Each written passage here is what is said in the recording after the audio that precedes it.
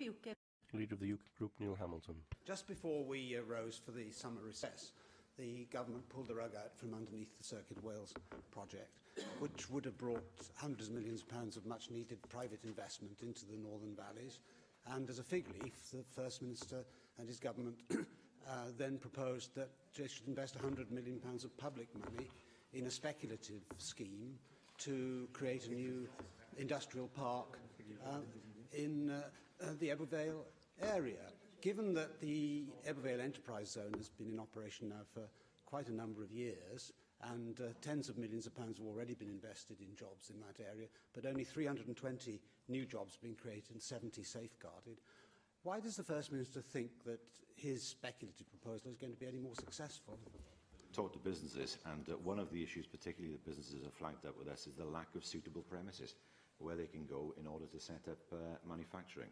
Uh, and one of the uh, one of the issues that we're looking at is uh, being able to provide them with the premises that they need uh, of the right size. Uh, we don't do that as in, terms of building empty buildings for no reason. We've done that uh, by uh, consulting with businesses, asking businesses what they want, that's actually a very sound way of investing for the future, uh, rather than, as he calls it, uh, being speculative. It's far from uh, speculative. This is based on uh, the feedback that we're getting from business.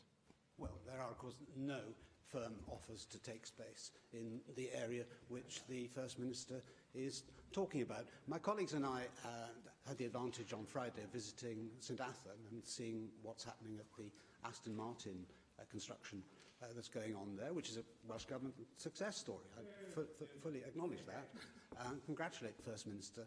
Uh, but, of course, the, St Athan is a very different uh, kettle of fish from Edward Vale in terms of its potential attractiveness to investors without improving the infrastructure still further in the northern valleys. And the whole point about the Circuit of Wales project and the job spin-offs which would come from it is not so much the racetrack itself, but the way in which the circuit would have made the area, put, put it on the map in, in, in a sense, and, uh, and would have attracted further automotive businesses around it. Uh, given that uh, as a result of the collapse of, of uh, that offer, um, the Welsh Government is trying now to fill a vacuum, I really can't see why uh, he's turned down the offer of hundreds of millions of pounds of private investment, where the government's only liability was highly contingent upon the total failure of the project and the assets which would, would have been created uh, fetching nothing. No, we've explored this before. We've explained to him the, the issue of what counts as on the books and, and off the books. He, what he describes is speculative. Every, every business venture is speculative to, uh, to some extent. But in some ways, in the question he asked, he answered uh, the, the, his first question, and that is one of the reasons why Sinathan proved attractive to Aston Martin is because there was a building there that, that, that fitted their, uh, their spec, that it was what they wanted, uh, the site was right. Many businesses have said to us, uh, conversations I, I've had, well, look, one of the issues we face in Wales is we want, we want to go to somewhere like Ebervale, but where do we go? The buildings aren't there.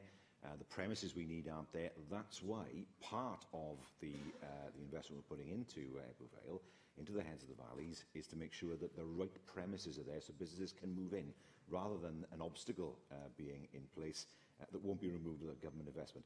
Yes, is that speculative? Well, in the sense that all business is speculative, but it's based, on my mind, on a much sounder ground uh, than, than the circuit was. Yeah. But of course, the Circuit of Wales project was more than just speculative. It was a fully worked out business case, which I understand was not undermined by the, the Welsh Government. the objection to the Welsh Government's support for the project was based upon internal accounting conventions, in its opinion, and in any event, um, set by Her Majesty's Treasury.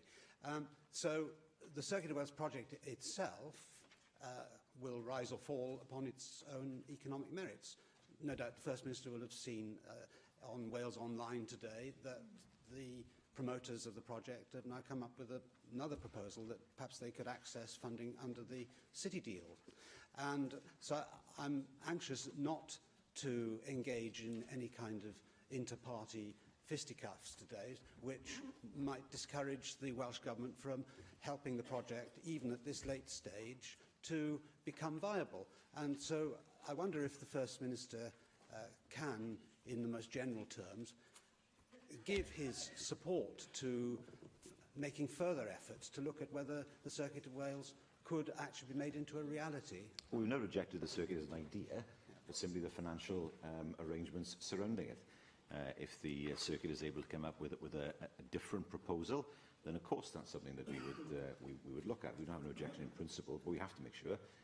that any project uh, takes into account the interests of Welsh uh, taxpayers and is able to demonstrate very strongly that, that the jobs that are promised are in fact deliverable.